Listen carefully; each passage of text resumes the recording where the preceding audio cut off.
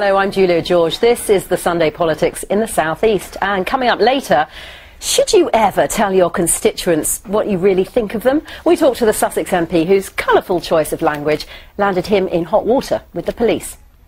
Joining me in the studio today to discuss that and other topics, the Conservative MP for Folkestone and Hythe, Damian Collins, and the prospective Labour parliamentary candidate for Dover and Deal, Clair Hawkins. Nice to have you both with us. Thank you. Let's start with East Kent, which includes both of your constituencies, of course, which has made the long list to be a candidate for the City of Culture in 2017. It's one of 11 bidders for the title, which is currently held by Londonderry. Hastings and Bexhill are also in the running, along with cities like Aberdeen and Leicester. Uh, Damian Collins, it's great to be ambitious, but City of Culture?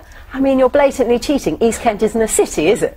Uh, well, it's a cultural coast, a cultural region, and uh, I think it's got a huge offer of modern and contemporary art as well as the traditional with, with a city like Canterbury.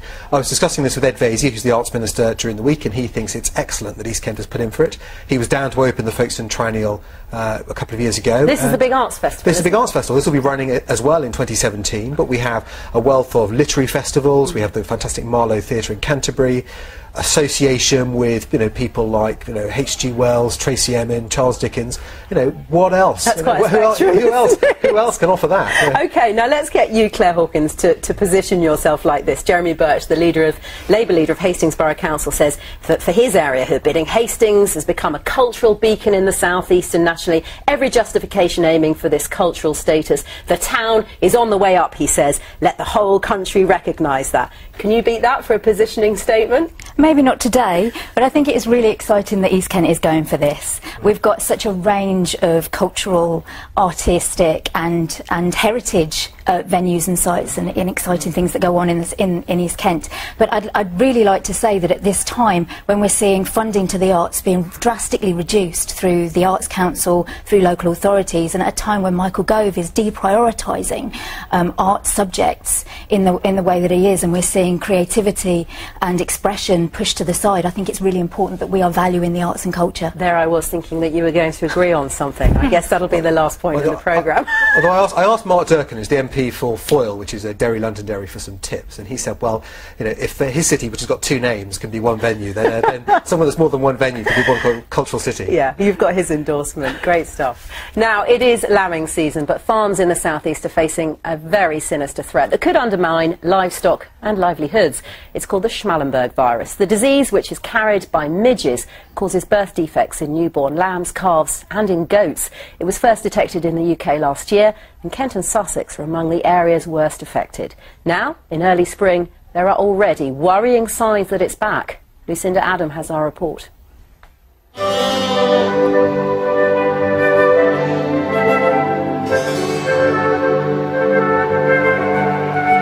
It's the sign that spring is here, newborn lambs finding their feet. But after Schmallenberg virus meant thousands of lambs and calves were stillborn or deformed last year, with the southeast the worst hit area, how will this year's youngsters be affected? Good girl. Monica Akehurst lambs 250 ewes at her farm in Hailsham. She had cases of Schmallenberg here last year.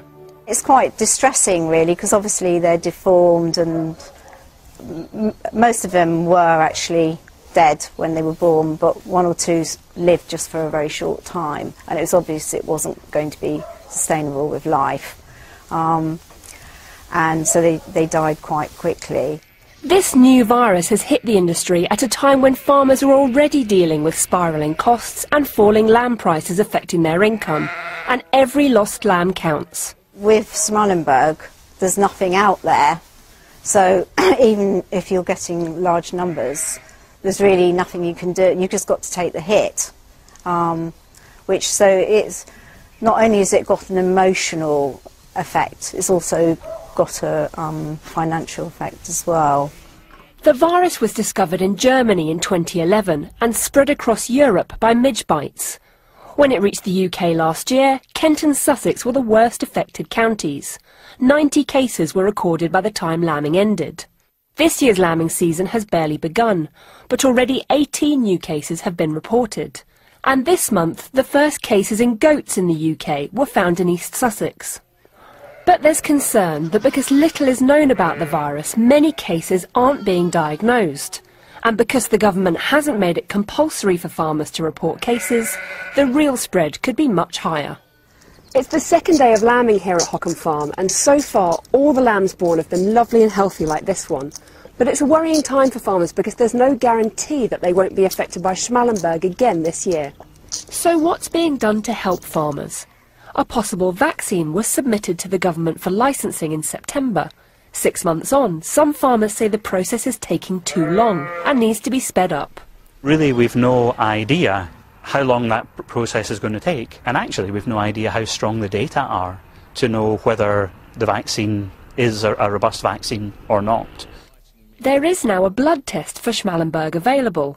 Last year it was free, but this year farmers have to pick up the cost.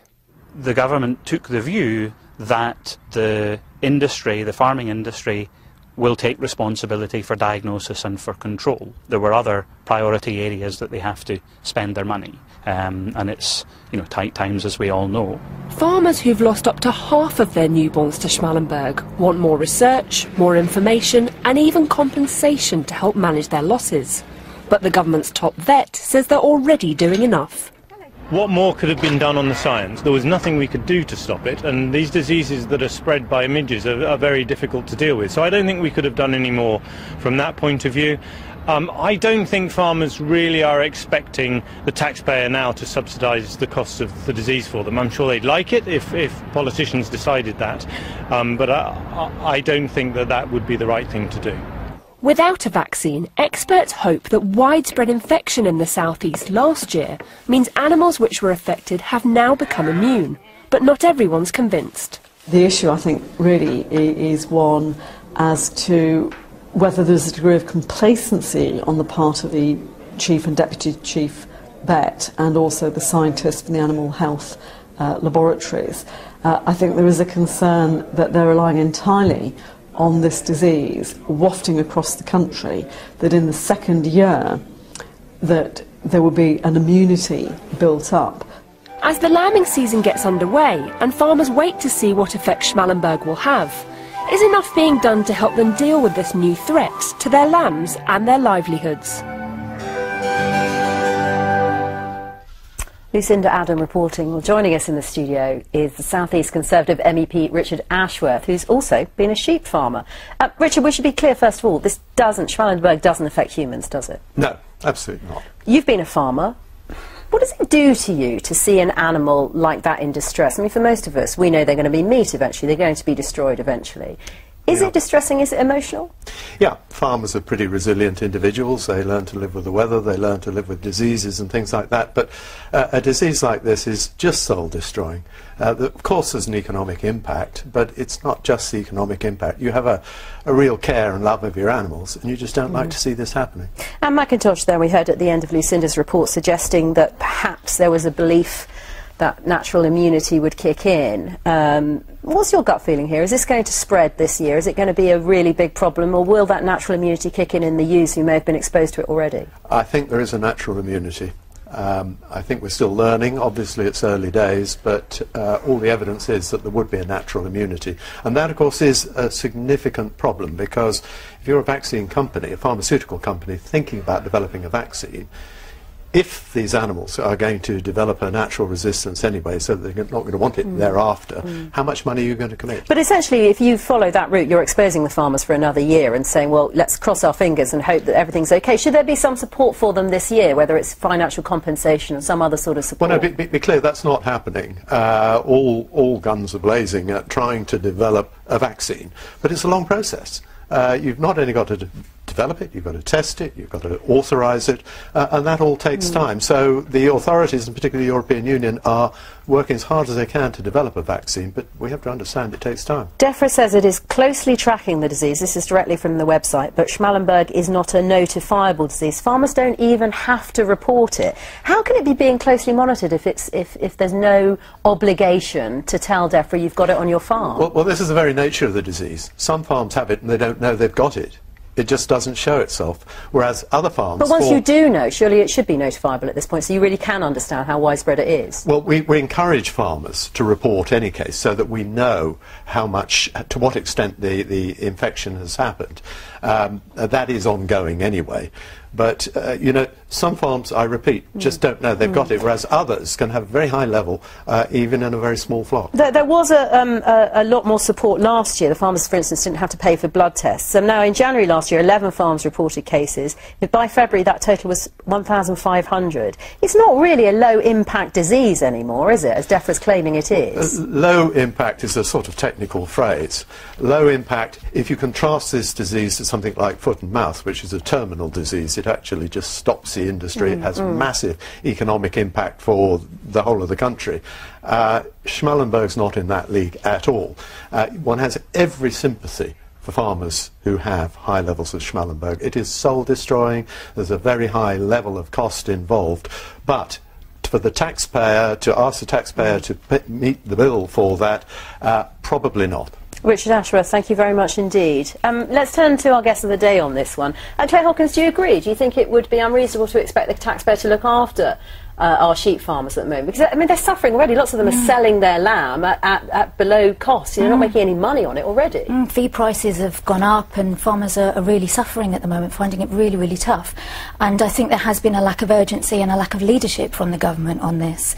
And I think it is important that as we approach the, the lambing season, as we start in earnest, that um, farmers are given, given the support that they need because I think if, if a vaccine doesn't become available, farmers may have to consider whether they can breed again next season or whether they do have a future in, in sheep farming. Uh, Damian Collins, of course, some of the best lamb in the country is produced in your constituency. If a farmer there came to you and asked you to defend the government's position on Schmallenberg, could you? What, what the farmer would want to know is, well, you know, what can we do about this problem? And that's really the vaccine, because it's not like, say, um, foot and mouth, where you look, might control the problem by controlling movements of animals. This is spread by midges, it's spread by insects. It's, it's very difficult to control the way it spreads. Uh, what we need is a vaccine, and we obviously we want to see that come on as quickly as possible. Um, but as Richard said in, in his, uh, his answers to your questions, we may have immunity built within the, the lambing stock. The Romney sheep have withstood you know, many things over the years, and I'm sure we'll still be going strong after this, this you know, virus passes. Okay, thank you both very much indeed. How frank should you be with your constituents? When East Worthing and Shoreham MP Tim Loughton used the term unkempt in an email, he had no idea it would lead to a six-month investigation by Sussex Police. The man in question claimed that his Romany gypsy heritage had been insulted and he made a complaint. Sussex Police told the Sunday Politics that the matter was handled in exactly the same way as if a complaint had been made about any other member of the public. The case was eventually dropped. So, is this an example of political correctness gone mad, or just the police doing their job thoroughly and responsibly? Tim Loughton joins me now from our Brighton studio. Tim Loughton, welcome to the Sunday Politics. Hi. We all deal with people we consider to be a bit difficult at times. Didn't you rather lose your cool?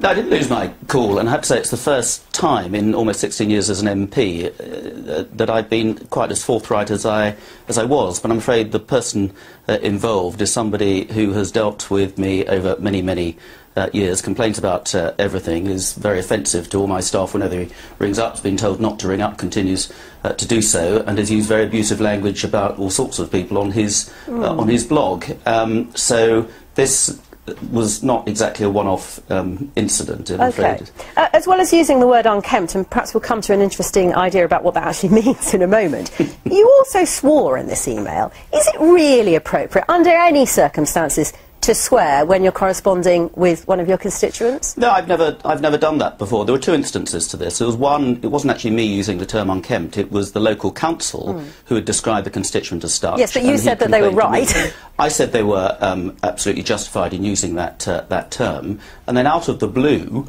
came this charge of racism. Uh, how racism equates with uh, unkempt with a complete mystery to, to me and anybody else who's got an ounce of common uh, sense, but that was a major basis of this uh, uh, allegation. And secondly, um, I used some, I would consider it robust language, I don't think it's actually um, swearing, but it was actually language which I took from the blog the abusive blog of this very same constituent. So I was actually only doling some of his own language Mm, back at him, and that then became the subject of a criminal investigation, No- which not- dragged not- on for six months. Let, us be clear, it's, it's rude enough that we wouldn't want to say it on air, just in case anyone's tempted to requote it. Um, you're aggrieved by the way Sussex police handled this. Why? What do you think they did wrong? Well, I think there are two things here. And first of all, it's absolutely right that an MP, anybody else in the public eye, should be treated in exactly the same way as any member of the public.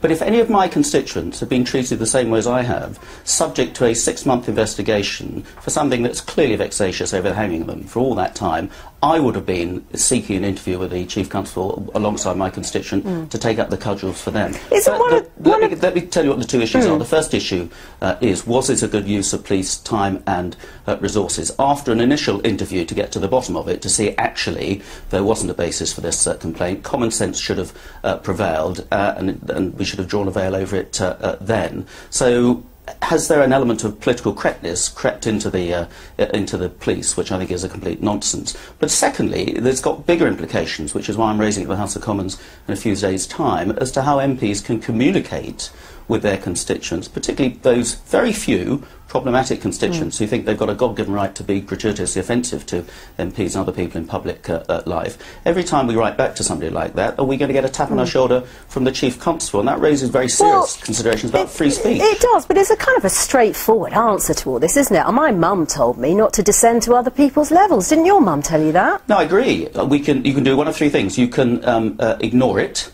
uh, or you can um, reply and, uh, and pan it off, or you can try and bring it to a close. And I say my staff have been subjected Uh, over I- many years to, to, be a lot fair, of abuse. th- th- this man isn't here in, i to respond to all of that. So let's concentrate on what's happened subsequently. The case was dropped without charge.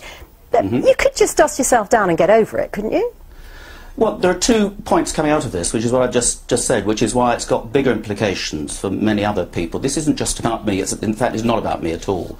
Uh, it's about are the police now completely subjected to political correctness considerations, such that they're spending their time and resources on a complete waste of time, and most people with any ounce of common sense would see this as a complete waste of time, rather than doing the job we, we expect police to do, and that's catching real criminals and preventing crime. And secondly, it's all about free speech, and free speech cuts both ways. And if people want to be gratuitously offensive to MPs or anybody else in public life, You should be able to be gratuitously offensive No, back. I wasn't gratuitously offensive. I was robust, and I only used language that had been used um, against me and all sorts of other people. Just very quickly, what, what, I know you've been speaking to the Police and Crime Commissioner for Sussex, Katy Bourne. What did she say? Well, I'm not going to uh, discuss a private meeting I've had with the, the police um, commissioner. I told her I am going to be making a formal uh, complaint about the way the police have handled this, at which point it will come onto her desk and she'll decide how to carry it forward. But I just want to make sure this gets uh, an airing. I've waited over six months to go public on this complete um, nonsense. And we need to get real about this. You know, people in, in the world these days, in this country, uh, seem to be afraid of being able to speak their mind proportionately. And this is just political correctness gone wrong. It's a waste of police time uh, and resources, and it has implications for free speech. And we shouldn't have to put up with it, and the Okay. taxpayer shouldn't have to fund it either. Tim, thank you very much indeed. Let's turn to uh, Clair and Damian on this one. Clair, would you use language um, like that? I know that some of it we can't say on air. Would you think there's any excuse to use that to a constituent? No, I don't. I think it was very rude. I think it was inappropriate, and I think it was very unprofessional. And I think perhaps before pressing the send button, um, you need to draw some deep breaths, count to ten, and really consider whether that's appropriate. Damian Collins, it's rude and it's unprofessional. What do you say? Well, I think what's unprofessional is the conduct of the police. A six-month investigation into a case like this is absolutely absurd. And I think it's just systematic of the whole human rights culture that came in when the Labour Party brought in the Human Rights Bill, where people feel that if there's anything happens to them they just happen to not like very much, they've got the right to push for a criminal To- to be- investigation into it. And it's totally absurd. To, to be fair, it's not really about that. It's about the Macpherson report, isn't it? And this is the quote from um, Sussex Police. And on this issue of uh, in, investigating racist incidents, um, it says here the Macpherson report, for the purpose of crime recording investigation, a racist incident includes any incident which is perceived to be racist by the victim or any other person person. In a sense, the police are between a rock and a hard place, aren't they? I mean, I've seen this happen in schools as well. Children called in to see head teachers, logging of racist incidents where two children have been discussing the colour of their skin. But this is clearly not that at all, and there was nothing, uh, there was nothing racist But he in this at all. perceived it, and that's Yes, what it okay- says here. But okay, He but perceived but the issue here is, you know, are the police duty bound to spend months investigating any misperception a member of the public has Well, as, a, as a apparently result of some correspondence they've had? Well, that is totally absurd, and I think most members of the public would agree that's a complete But you're blaming the last time. government. This is this Well, no, I'm saying, I'm saying this is systematic of this whole culture that came in with the Human Rights Bill. That if anything happens to you, you happen to not like very much. If Mm. someone's rude to you or says something you don't like, then somehow it's an infringement of your rights, and you've got the right to go to the police with it. And it's Okay. totally absurd. Do- Maybe Clair Hawkins, we need a little bit more plain speaking, even colourful language. Is it so terrible? Would you be offended if someone described you as unkempt? It really just means you haven't brushed your hair, doesn't it? I can see why someone would have taken great offence by the Oh. email that was sent. Thank you all very much indeed. Now, it is time for a roundup of the week's events in the southeast. Here's Lucinda Adam.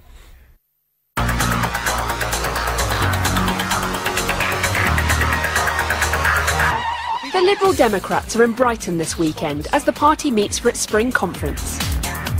It's home to 650 Argyll and Sutherland Highlander soldiers, but Howe Barracks in Canterbury is to close as part of a wider reorganisation of the military by the Ministry of Defence. The Argylls have very much made Canterbury their home, um, so it, it, it will be end of an era. NHS bosses say plans to temporarily downgrade maternity and children's services at Eastbourne Hospital are necessary for patient safety because of staff shortages. Tributes were paid to the former Ashford Borough Council leader Peter Wood, who's died just a week after stepping down because of ill health. Former Labour Transport Minister Paul Clark has announced he will stand to try to win back his seat in Gillingham and Rainham in 2015. In And politicians enjoyed a different type of spin as Brighton DJ Norman Cook, otherwise known as Fatboy Slim, played the House of Commons for charity. There's people in suits who weren't quite sure how to dance, but I think we sort of won them over. Being very diplomatic. We'll come on to dancing in just a second. Um, let's start off with the Howe Barracks. Just a, a quick thought about Folkestone and the support service jobs there. And people are vulnerable, aren't they? Well, I think it's not linked to Howe Barracks, but to a, a reorganisation of the South East Brigade command structure. But I think the key thing for us in Folkestone was the, the long-term commitment for the Gurkhas to stay at Shorncliffe Barracks, which has been uh, confirmed by the Ministry of Defence. So that is very good news, and I hope if there are any moves, they'll stay within the MOD. Okay. Uh, Clair Hawkins, a quick thought on uh, another prospective parliamentary candidate's been announced. I think lots of people suspected that Paul Clark would stand again in Gillingham and Rainham. Uh, is Labour Party finding its voice in Kent? Absolutely. I think Paul Clark is a very strong candidate. And um, I think for, for One Nation Labour to really resonate with people, we need to be having a strong voice in the South East and in Kent. Um, is uh, Norman Cook right about MPs and dancing? Can you dance? Um, no, I think he probably is. But that, that competition was something that Mike Weatherley, the MP for Hove, has organised to give new acts, music acts, the Mm. chance to perform in front of senior people in the music industry. I know some bands in Folkestone have been part of it, and it's been a great competition. It's more to it than MPs. Yeah. Would you dance in public, Clair? Oh, depend what the music was, Yeah? perhaps. You'd seriously give it some thought. Thank you both very much indeed. It's been lovely having you with us. That's it for the Sunday Politics in the Southeast. My thanks again to our guests this week, who were Damian Collins and Clair Hawkins. Natalie Graham is here in the hot seat next week. Now, though, it's back to Andrew in London. See you in a couple of weeks.